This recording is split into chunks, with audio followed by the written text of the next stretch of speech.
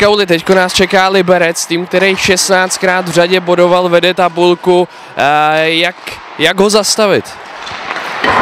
Tak uh, myslím, že víme, co bys... Nebo takhle nám jde hlavně o to, aby jsme tu hru prostě, aby jsme hráli to, co chceme a jestli je to Liberec nebo kdokoliv jiný, tak je jedno a já budu, my budeme rádi, když prostě budeme hrát tak, jak si říkáme a pak nás to bude i bavit a věřím, že i Liberec můžeme potrápit a získat nějaký bod, nějaký body.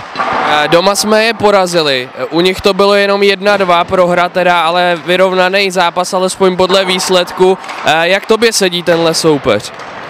Tak doma si myslím, ten zápas, co jsme vyhráli, tak to byl jeden z těch našich nejlepších tady výkonů, takže to bylo super. A u nich to 2-1 bylo jenom kvůli Denisovi, si myslím, že byli lepší mnohem, takže my budeme se snažit hrát tak, jak jsme hráli ten první zápas doma, na to navázat, tam, tam to bude cesta. A když se ještě vrátím k zápasu s Olomoucí, tam první třetina byla naše, ale potom nás soupeř trochu přehrála, byla z toho nakonec prohra 4, eh, no, 3-4. Eh, Co si z toho vzít? Nějak rozebírali jste ten zápas a, a je něco, na co si z toho, z toho vzít po naučení?